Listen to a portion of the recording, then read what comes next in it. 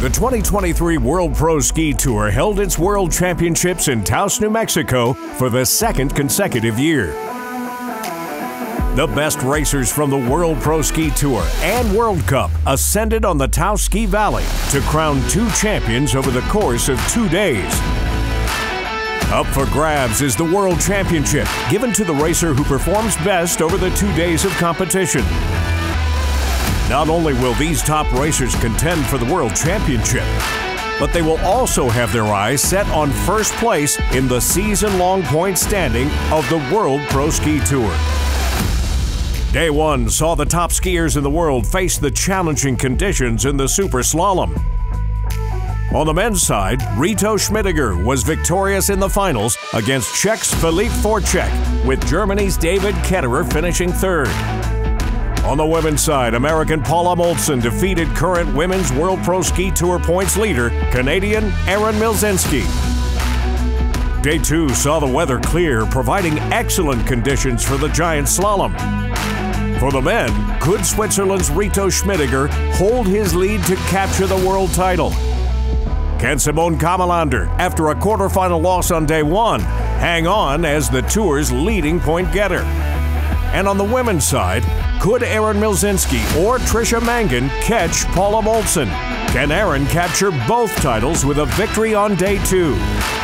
On this episode, we'll sit down with American favorite Tricia Mangan and two time U.S. Olympic gold medal winner Ted Ligety. It all comes your way next on Life in Between Gates. This is the World Pro Ski Tour.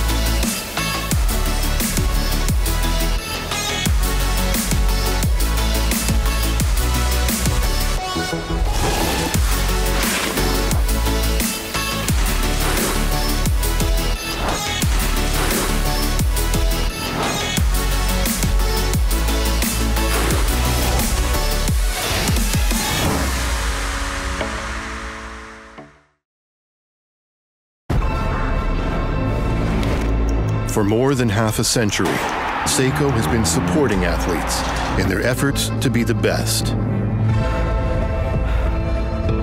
Now, we want to bring this reliable technology to anyone striving for a goal.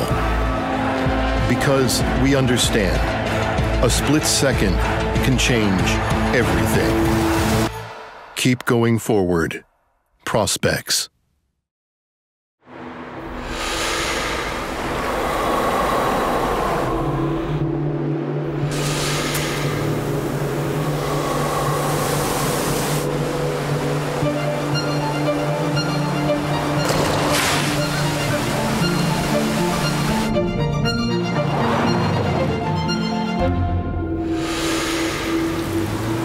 Introducing the first ever Mazda CX-50.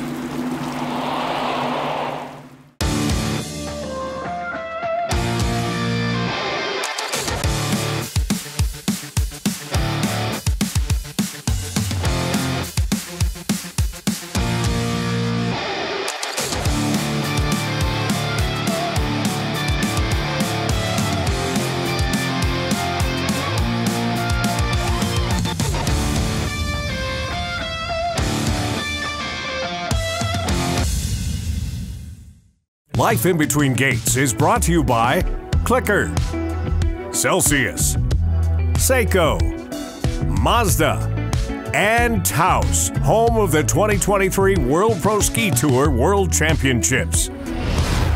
John Franklin, CEO of the World Pro Ski Tour and Ski Racing Media, and we're here for day two of the World Pro Ski Tour World Championships in Taos, New Mexico.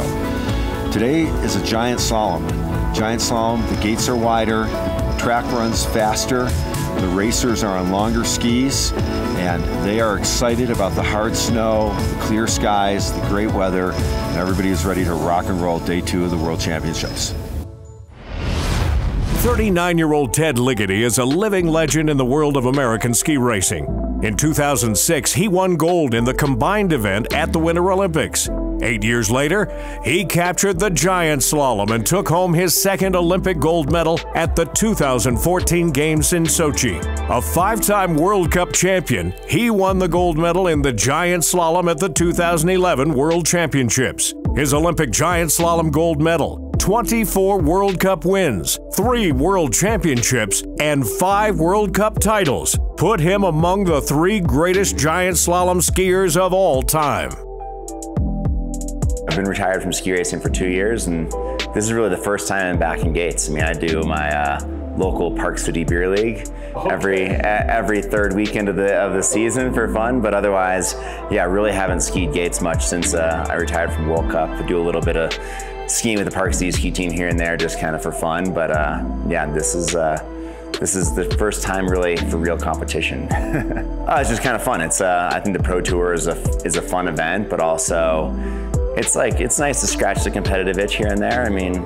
Um, I don't know how competitive I really am. I've been away from it for a while and I'm not like training at a high level or anything, but it's just kind of fun to get back into it and, and you go up against, you know, a bunch of the guys I, I raced with for a lot of years and um, see where I stack up, but also just more just for the fun of it. And um, I think for the GS, maybe I have a little more chance of, of being a competitive, but for Super Slalom, it's a, it's a challenge for me on the little guy, on the little skis. As a kid, I've been a fan of skiing. Well, I've been, a, I'm still a fan of skiing still much since I was, you know, racing all the way till now. Um, and grew up watching the Pro Tour as a little kid. You know, I was lucky to grow up in Park City where we had the World Cup every year, but uh, the Pro Tour would come through every once in a while as well. And, you know, seeing Bernie Canales and, and some guys like that go through and, and hammer away was really cool. And then to see it come back was fun. I did a couple of them while I was still racing World Cup. And so that was fun to kind of mix that in there and to support you know, ski racing beyond just the World Cup Tour is, is really cool, especially here in the US, you know, giving, you know, some of the next generation, but kind of some people that are in between World Cup and NORAMs, the opportunity to go out there and, and race for money is important. I think that's fun to be able to help sustain that skiing ecosystem. I was an old guy on the tour for a long time, so it's been fun to you know grow up with some of the some of the young guys. I mean, now guys like River Radamus, he was a kid when I first started, but uh, not a kid anymore, obviously. So it's fun to be able to interact with those guys and see them come on, into their own you know, somebody like Tommy Ford, you know, he was a 19 year old kid, you know, coming on the US ski team and seeing him like evolve to going on to go win World Cups is cool to like see that next transition, next generation coming up. And I think the Pro Tour is a great way is for those guys to have that next little outlet and, and you know, continue evolving their skiing path for this weekend. I mean, I think, you know, the Reed brothers are going to be tough. They're both fast today. Um, River, I mean, he's, you know, the whole hometown guy here in Taos, so he can be really competitive, really good on the World Cup Tour. Been very good actually in the Giant Slalom duels on the World Cup as well. Helped the, the team win a, a gold medal there in World Champs. So, you know, I think he's going to be tough, especially on the Giant Slalom side of things. Um, and then, you know, some of the, the veterans on the, the Pro Tour, you know, the Mike Lankenys, guys like that could be really tough. My first couple years in the ski team, you know, having, you know, mentors like Dane Spencer and Chip Knight were really important. But then, you know, of course, Bode was winning races at that time. So, I mean, he was somebody I looked up to a ton. And even well before I made the ski team, he was definitely a hero of mine. And to go race him and then, you know, beat him here and there was, was obviously uh, really cool. When you're on this US ski team, you're traveling on the road for six plus months out of the year with each other, like hotel to hotel. And so you get to know the, the group of people on the team really, really well. I mean, it's uh, it's kind of like a little bit of a, a brotherhood in some senses. So, you know, you get close to each other and it's, yeah, it's fun. It's a different world. I mean, since you stopped racing, I've stopped racing, we've kind of gone our separate ways, but we, we stay in touch here and there.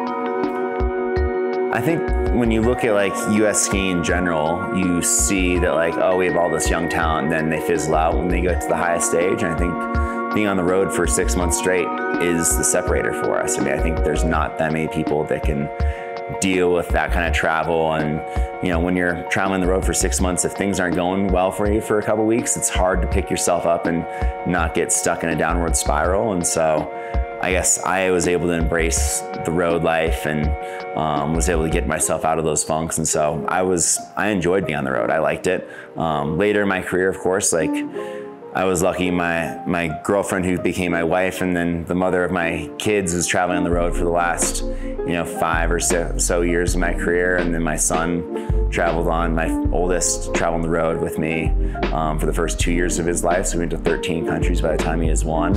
Um, and so that was nice to like have that like home unit on the road. And then the last couple years I would just do like two weeks on two weeks off um, which was which was brutal. Um, so that part of it started wearing on me at the end. I have a five-year-old and I have two and a half-year-old twins, all boys. Yeah, with three kids and the two-year-old twins, you know, home life is is chaos as anybody can imagine with three boys running around. So I always just say I'll repaint the inside and re-drywall when they're six.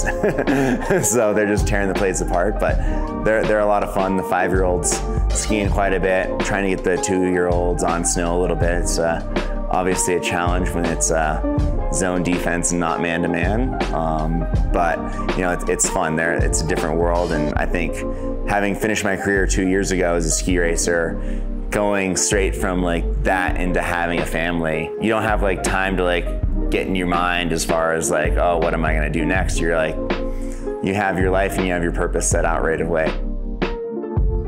My five-year-old, he went to the Olympics in 2018. I mean, he was nine months old, so of course he doesn't remember that. Um, and he has some memories of like when I was still ski racing because he was, you know, three and a half then. But you know, for a while there, he's like, why do people always like come up to you and know who you are? And uh, he like he understands that, and now he like people actually come up to him know who he is because like they see like my Instagram videos of him skiing or whatnot. So um, he kind of understands. I don't think he like has a true understanding, but he kind of gets to like, daddy was a, a good skier and whatnot. Let's see what the sunny skies here in Taos have to offer. Fossa Norway blue, Ligety USA red. right. Let's watch the lights. Start. Yellow, yellow, yellow. Now back in the tails. You're seeing this float. Then the doors open up. Out on track they go. Looks like the youngster got a little bit of a jump on Ted. Down the pitch they go. Mr. GS. Let's see what he has today.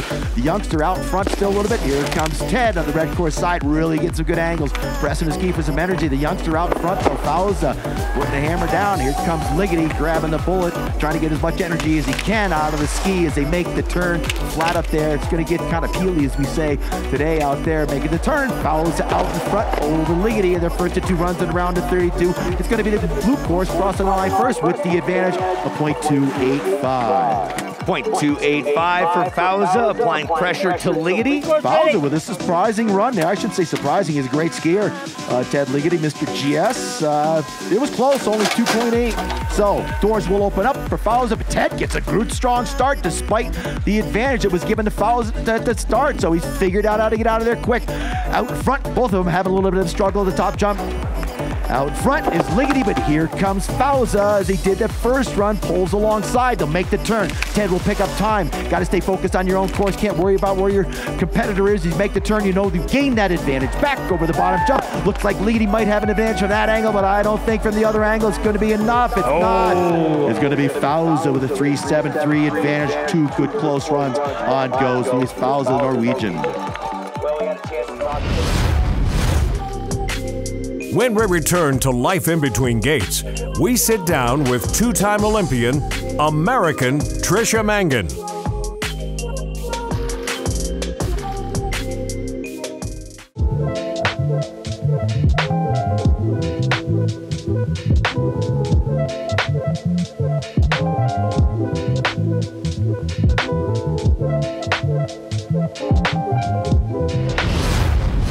Native of Buffalo, New York, 26 year old Tricia Mangan has competed in the last two Winter Olympics in 2018 and 2022. In 2022, Mangan finished second in Taos in the super slalom behind eventual champion Paula Moltzan. After a fourth place finish on day one this year, she has her sights set on turning the tables and capturing the championship for herself. Hi, I'm Tricia Mangan. I'm 26 years old and I'm from Buffalo, New York. So I grew up racing at HoliMont in Ellicottville, New York, which is about an hour south of where I live in Buffalo. It has a impressive 700 vertical feet, but it's a really nice family-oriented club um, and has a super special community. So I started racing there with my four brothers when I was about six years old, and then I also have a sister, a younger sister, who joined us a couple years later. And yeah, skiing has definitely started as a family thing. All of my siblings did it. I was definitely super competitive, especially with my twin brother. So that was super motivating for me. I often credit a lot of my success to just wanting to beat him when I was younger. I think that also coming from a small mountain teaches you to be kind of resilient and gritty because you're definitely at a disadvantage for resources and time on snow and everything. So you kind of have to um, compensate for that uh, in other ways, which I think was and is still a huge advantage in my skiing. My oldest brother often says that like the reason I made it so far is just because I hated losing the most, which I'm not sure if that's a good thing or a bad thing, but I definitely love racing and love working hard to get faster. So for me, it was like all part of the process. Um, so I, I really enjoyed it, and I think I'm getting better at losing because I definitely do it a lot on the World Cup. But that's kind of part of the process is like wanting to get faster after every run, no matter where you are. And I definitely think I have that. So I actually think I'm pretty unique in that I like didn't have a big picture. I, I hardly even knew what the US ski team was. Um, like, of course I knew Lindsey Vonn and Bode Miller, but like there was no, I want to be on the US ski team, like I want to go to the Olympics. It was, it was truly just like, I want to be my brother, I want to be the fastest one on the hill. And then I'd say a big pivotal moment for me was at my first year at U16 Nationals. Um, I qualified for that and went out to Park City and I didn't even know it was a race and I got absolutely crushed. I always knew that there were like way better girls out there from Vermont and Colorado and everywhere out west, but I think being there in person with them and seeing that level really motivated me to be to work hard and get there the next year. So then that whole following year, that was my goal was like go to U16 Nationals and don't get last. And um, I did qualify again, and I went there, and I ended up third overall, um, or maybe fourth. But I, I did way, way better, and that qualified me for the junior national team, and then that was kind of like a big launching point for me.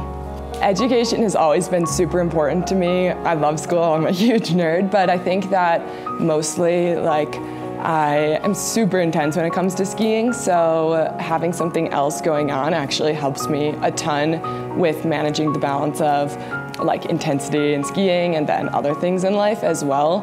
Engineering, at least in my experience, played to similar strengths as why I was good at skiing, like breaking down problems, seeing how you could fix things to get a little bit faster make things a little bit more efficient. Um, so yeah, I loved engineering and um, I, since graduating, have done a lot of part-time roles and internships, um, so I'm super excited for what's next. But I think that for me, balancing a ton of things and having a ton on my plate has been super beneficial um, in kind of teaching me that you can always do more than you think you can. And uh, especially my last two years as an independent athlete racing on the World Cup has been super, super challenging, but I know that like I can do really hard things and manage a ton of stuff. So that's kind of given me confidence to take on these um, bigger, bigger things and not be overwhelmed. That was similar to kind of my mindset growing up and like what I've had progressing through skiing the entire time is like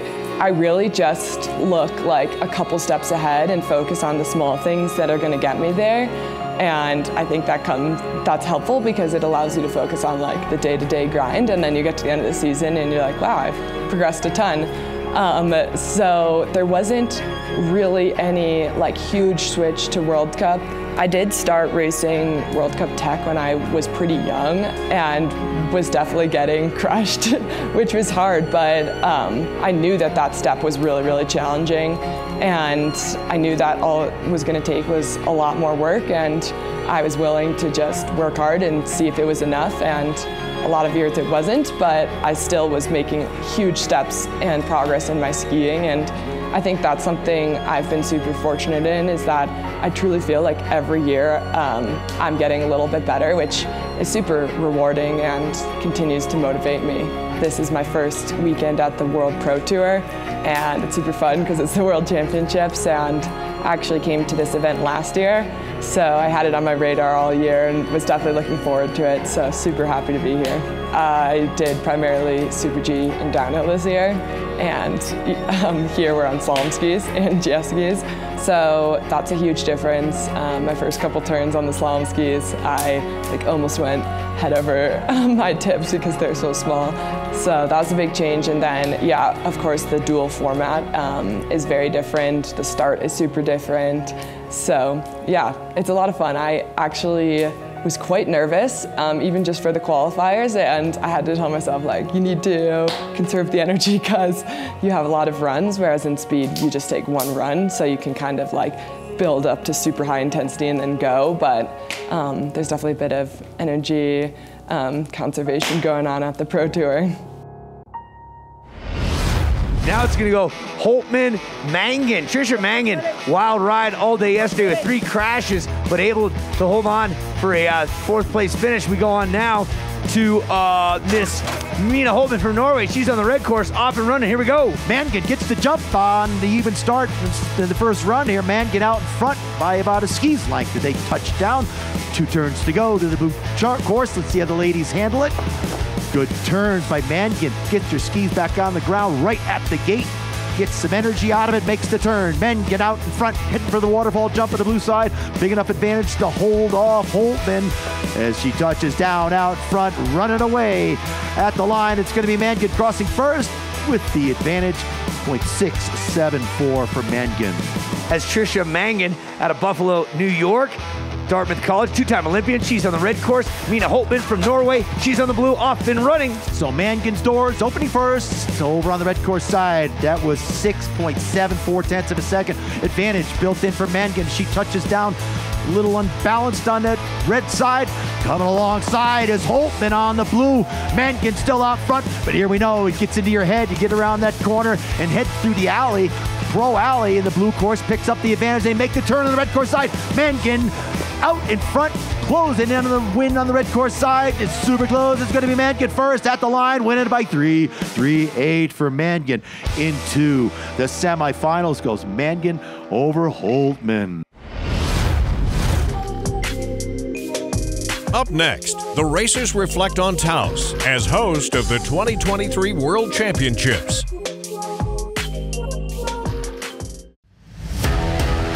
In general, ski racing is a pretty tough sport. Racers ready? Using my DNA vibe has allowed me to train harder, longer, and recover faster.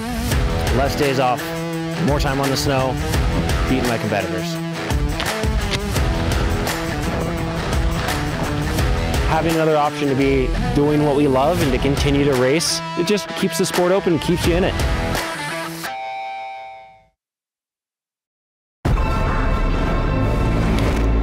For more than half a century, Seiko has been supporting athletes in their efforts to be the best. Now, we want to bring this reliable technology to anyone striving for a goal. Because we understand a split second can change everything. Keep going forward. Prospex. Here is a place situated off the map of ordinary, a place that is independent, free spirited, and intimate in scale. A place that, since its first lift was installed over 60 years ago, has strived to stay true to its roots while growing better rather than bigger. This vision for the future has helped make us the first ski resort in the world to earn B Corp certification. It's a symbol of where we're headed and what we stand for. We hope you will join us.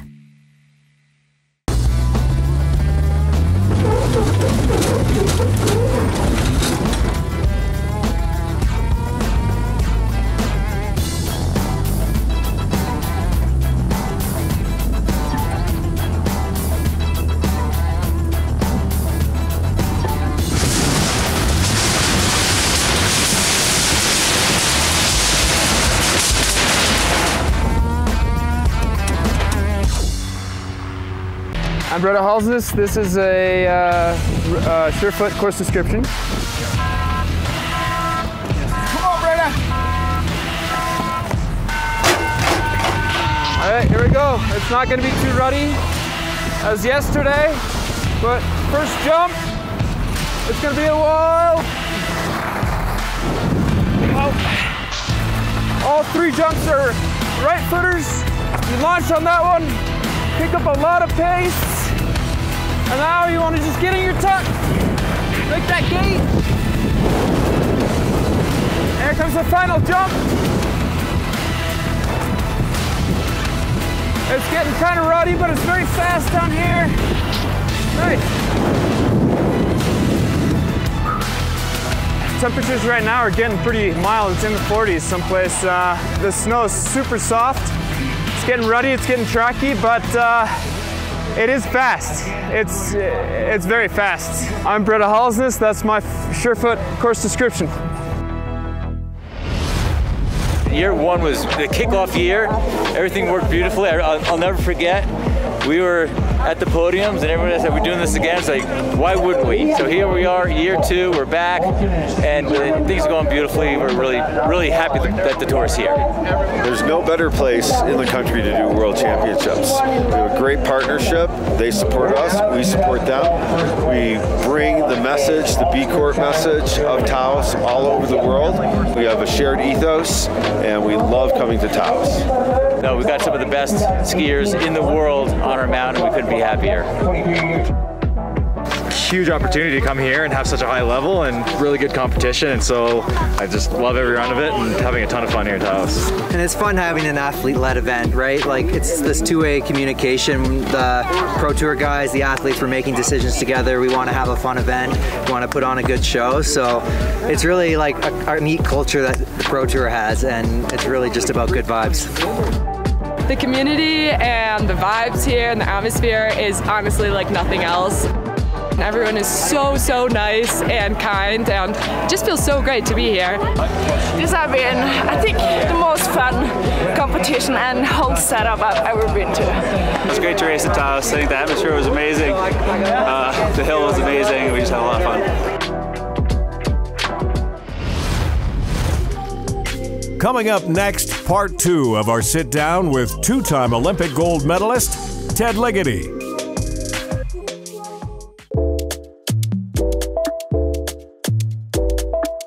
Hi, my name is Mark Daneman. I'm the Chief Operating Officer for Peak Ski Company. We're here in beautiful Taos, New Mexico at the World Pro Ski Tour Championships.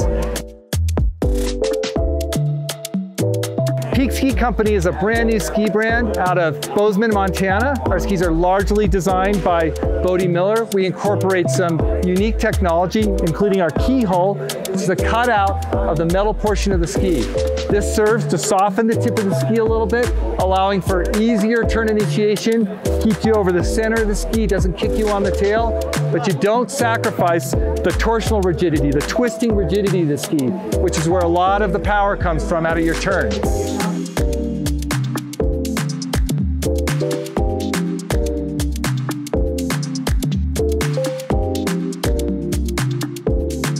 We're a direct-to-consumer ski company, so you go to peakskis.com to check out our product. You can purchase our skis, and we have a fantastic 30-day money-back guarantee. If you get the skis, you got a month to ski them. You can mount your bindings. If you don't like the ski, you can return them for another model or size, or just get your money back. So if you want peak performance out of your skiing, go to peakskis.com.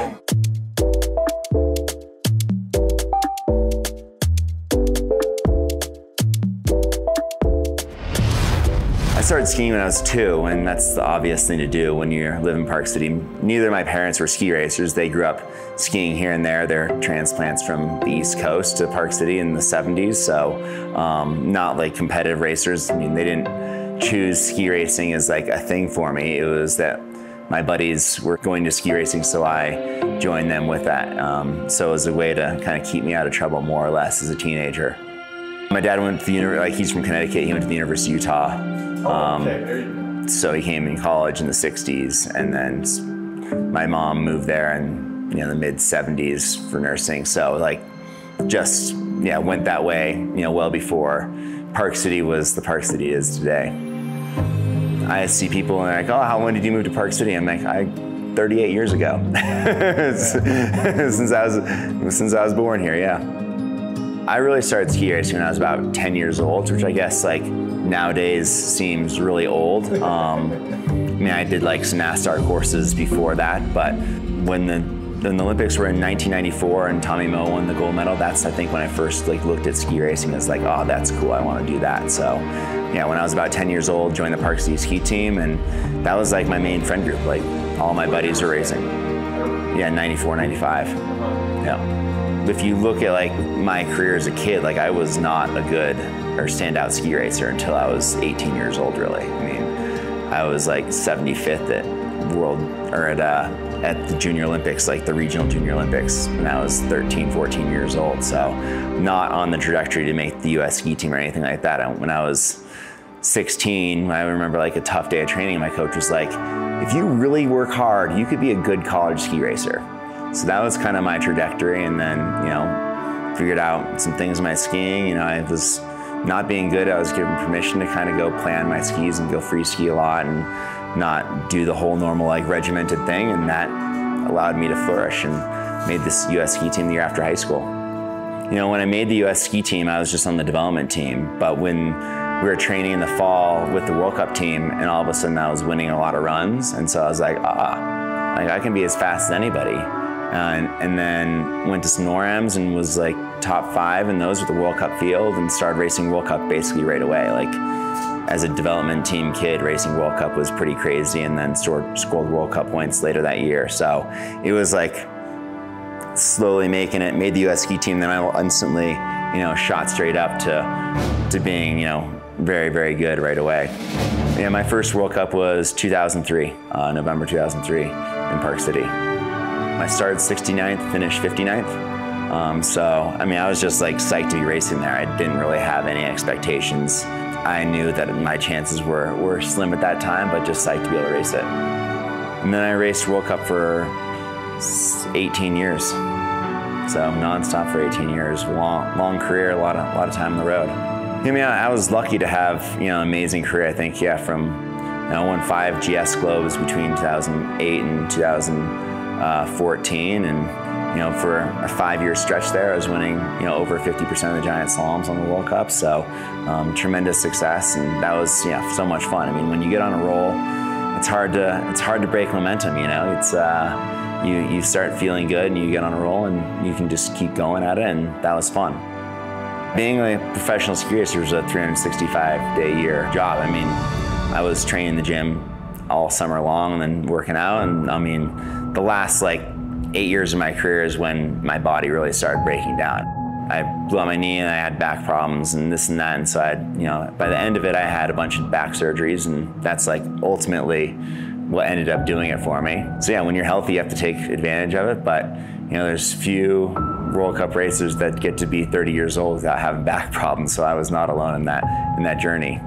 Going to my first Olympics in 2006 was a dream come true. I was like a 21 year old kid still living at home with my parents. So just psyched to be there and then to go in my first event, which is the combined. I've been having a great season leading up to that. I've been on the podium a couple times, but was not really expecting to win a medal. So to go into the first event, you know, there's a downhill and two slalom runs and was like in 35th place after the first one on the downhill. First on a slalom, I was you know, by far the fastest in that run, went up to third. And I remember sitting sitting in the lodge between runs, leading up to the, the last run of slalom. You're like, holy cow, like what would my th- friends think back home if I actually won a, won a medal? And I was like, got super nervous and I was like, I just got to put that out of my mind.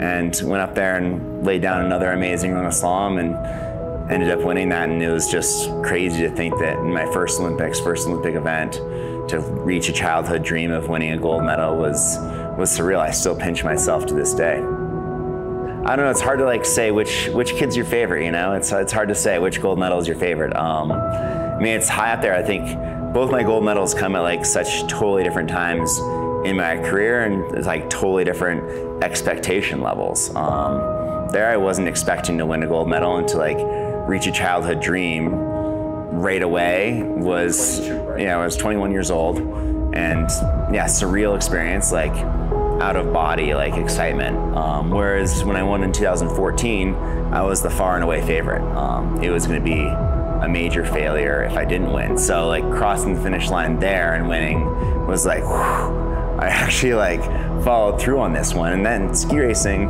if anybody follows it, like by and large, the favorites don't win at the Olympics um, because it's like it's one race. You know, the margins of error are so small.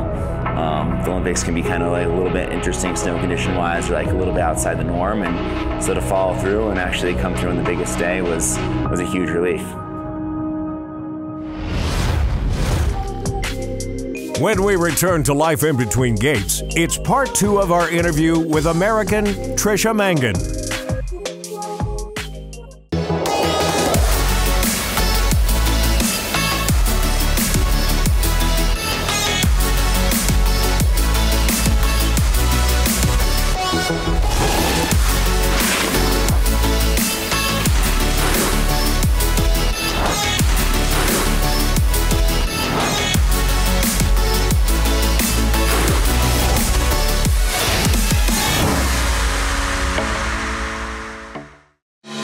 Here is a place situated off the map of ordinary, a place that is independent, free spirited, and intimate in scale. A place that, since its first lift was installed over 60 years ago, has strived to stay true to its roots while growing better rather than bigger. This vision for the future has helped make us the first ski resort in the world to earn B Corp certification. It's a symbol of where we're headed and what we stand for. We hope you will join us.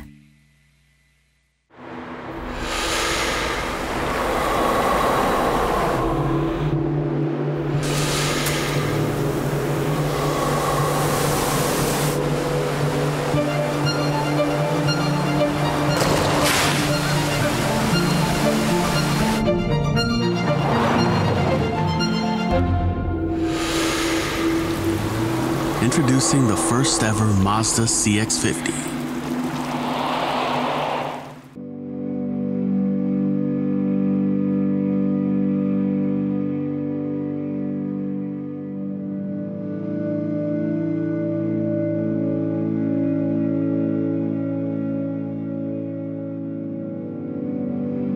when I decided to go to Dartmouth and race for the Dartmouth, Dartmouth and the US ski team. After that year, I, I didn't qualify again for the ski team, so that was kind of my first year as an independent. And then the past two years, I've raced as an independent on the World Cup, and that was a tremendous effort. Uh, I don't think I quite realized how hard it was going to be until I was in it, but it also taught me so much. And I often say that the biggest silver lining of racing independent is that I was forced to ask people for help and reach out to my community because I simply could not do it alone.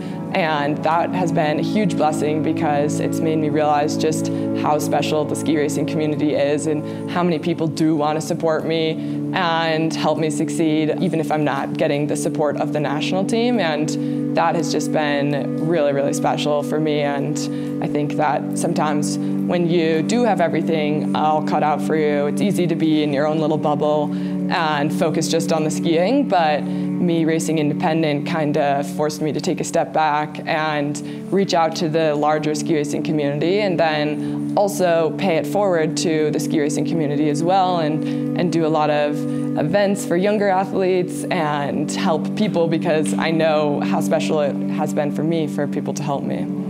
2018 was a very crazy experience for me. I was actually the last alternate onto the US Olympic team, so I found out about four days before opening ceremonies and flew two days after. So it was a huge whirlwind and it was definitely tons of emotions. Um, I felt a little bit like, oh, I don't deserve this or I need to prove myself because I'm the alternate, uh, which was stressful. Um, but again, it was really just me wanting to put my best skiing forward and work really hard and prove that I belonged at that event. Looking back, I probably would have been a little bit kinder on myself, but I definitely took that experience into my second Olympics, last year and had a really, really positive experience there. So the opening ceremonies of my first Olympics were definitely one of the coolest moments of my life because as I said, it was such a whirlwind leading up to that and I didn't, I was just so stressed. I didn't really take a moment to be like, wow, you made it. And then going to opening ceremonies was so special and really, really cool in a like a huge, oh my gosh, like I'm here moment. So my first event was the giant slalom and it actually got postponed, which was really nice because the snow there was so different and grippy. So it gave me a couple more days to um, train and practice and feel good. Unfortunately, I did DNF in the first run. I had um, a big, like, caught my edge and high-sided and crashed. So that was a bit disappointing, but DNFing, as always, I think that outside of the ski racing world, it can be perceived as like this terrible thing, but to me, um, it means that like I'm putting myself out there and on the line and like willing to push the limits. So I was bummed, but I, I knew that like I, I was there to push the limits and see how fast I could go. So that was my first event, and then the second was the team event, um, and that was super fun because I, you don't really race as a team ever in ski racing, so it was just totally different. And the older athletes on the team, like Nolan and David and Megan, uh, were all veterans, and then there was me, so I was um, definitely taken under the wing and tried my best to ski as, as fast as possible for them, but yeah, that was a great experience. I definitely remember at the end of that Olympics being, thinking to myself, if I go to another Olympics, I want to be in a position where I can really contend and try to be a little bit more competitive. Um, so yeah, that was that was definitely motivational. I think like a bit of um, misunderstanding in winter Olympic sports is that like the Olympics are the only thing that matter, but like each season we have a World Cup season, which some people think are even harder than the Olympic events because there's more girls there. So um, each year is really important, and throughout the year, like April, the end of April when the competition period ends is probably the two, three weeks of the year that I don't think about skiing and I try to decompress as much as possible. Um, but then we kind of jump right into spring camps. We have really intense dryland summer training. We go to the southern hemisphere to train on snow.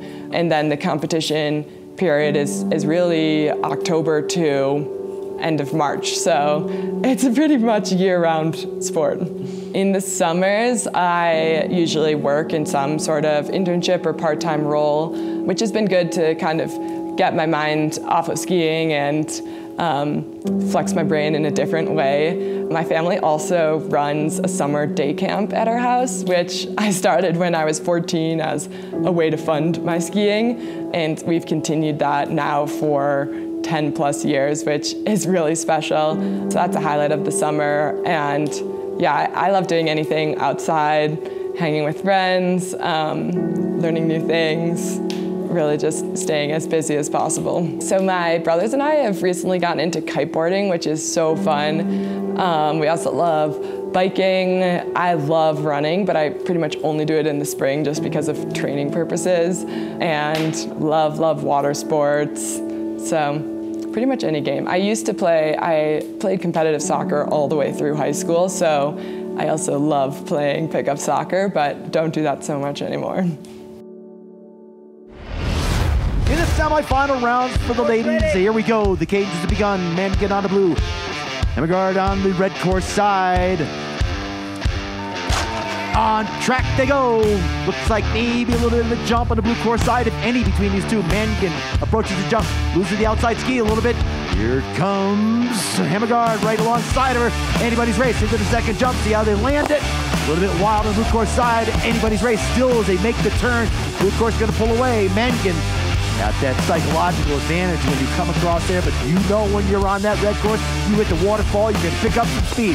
Out in front is Mangan pulling away on the blue course side. Hemmegaard trying to close it down, and it's going to be the win going to Mangan by 2 6 9 for Mangan in their first of two runs in the semis. Crucial timing to get that advantage and take advantage of it. Tricia Mangan ready to go out on track. She goes. Good clean start. Two tenths of a second difference between the two. Emma putting the pressure on right from the hop here. Emma looks like she's evened up the gap. Out front, Mangan still has a little bit of an edge, gets out in the soft stuff. Here comes Hemmergarden on the blue course side, pulls alongside on the blue, starting to stretch it out. You know what happens, everybody. Oh, she gets back in the tails, a little bit twisted as they make their way through the alley. Hammering the way of the course is Mangan. She has the advantage at the first one. We've seen it before in the red course. Can she make it up at the bottom here? Oh, look at this. Mangan going to be there first. Across the line she goes. Tricia Mangan moves into the finals. She's been here before. Tricia oh, over. Oh boy, so this is setting things up for a very interesting finals.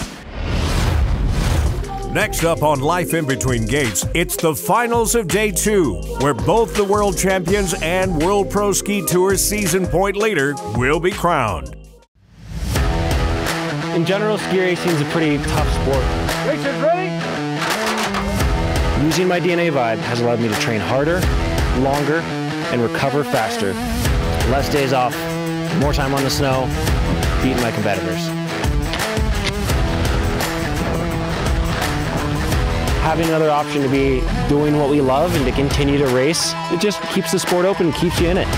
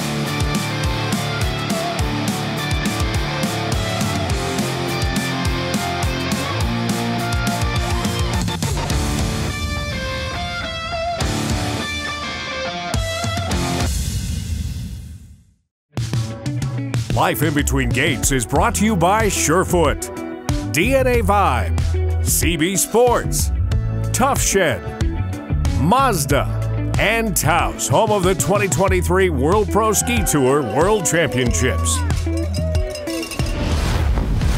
Now it's time for Heat 1 of the big final for $20,000 between the American River Radamus and the Canadian Jeffrey Read. That's a lot of money on the line. They are gonna have to hustle, really working those skis, getting nice arcs down to the bottom. They're neck and neck coming into Pro Tour Alley, and Radamus pops out in front of Read. But remember, the red course, if you run it direct, and that's what Jeff does, runs a nice direct line coming down through the finish. This is gonna be very close. It's Read by .227. He'll take that advantage into the second run.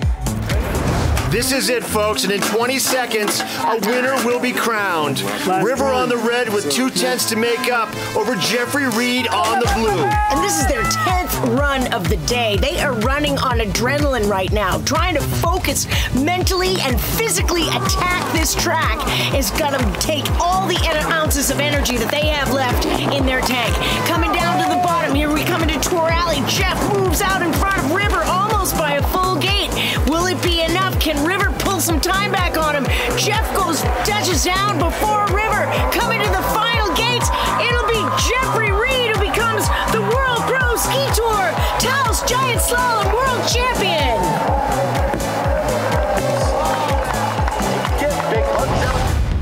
Yeah, I was definitely pushing it yesterday, and we're going to still push it today, but hopefully, we're going to be on our feet the whole way. That's the plan.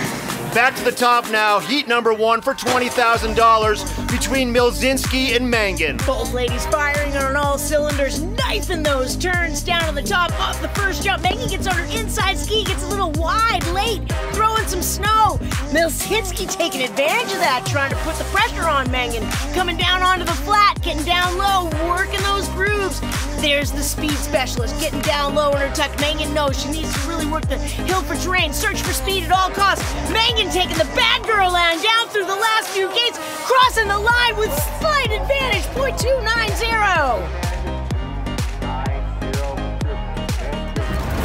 This is it, folks. This is the final race of the day, deciding who stands on top of the podium and who stands one step down. And the intensity is so high. Mangan gets a pretty good start, and, and Mielzynski's going to have to scramble to catch her. That's a little bit of a distance, almost a full gate now that Mangan has over Mielzynski. Coming to these turns, Mielzynski trying to rail him, trying to make some smooth arcs, and coming down here on the bottom, Mangan pulling that tuck, trying to really generate speed, generate energy from gate to gate, getting low to the snow, trying to stay aerodynamic, coming off the waterfall, pushing the line to the limit. Mangan powers her way down through the final gates to become the World Pro Ski Tour 2023 Taos Giant Slalom World Champion. Let's take it down to the Korbel, California Champagne Awards celebration. Jeff Read wins the 2023 World Pro Ski Tour Taos World Championship Giant Slalom. Tricia Mangan will take home a check for $20,000. And Reto Schmidiger becomes the World Pro Ski Tour 2023 Taos Men's Overall World Champion. And congrats to Erin Mielzynski, the World Pro Ski Tour Taos Women's Overall World Champion. What a great season it's been on the World Pro Ski Tour. And here's a look at your 2023 season champions, Erin Mielzynski and Simone Camelander. We want to send out a big thank you to Taos Ski Valley for hosting the World Championships for a second year in a row. What a great winter it's been, and thanks to all of you for joining us.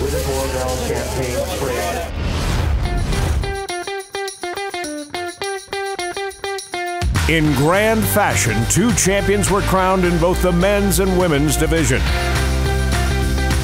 For the men, Switzerland's Reto Schmidiger captured the World Championship with a first place finish on day one and having reached the quarterfinals on day two. Simone Kamalander hung on to capture the World Pro Ski Tour season point standings by a narrow margin of 123 to 115 over David Ketterer. Michael Ankeny finished third. On the women's side, it was a clean sweep for the Canadian, Erin Mielzynski.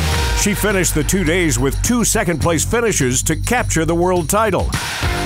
Americans Tricia Mangan and Paula Moltzan finished second and third.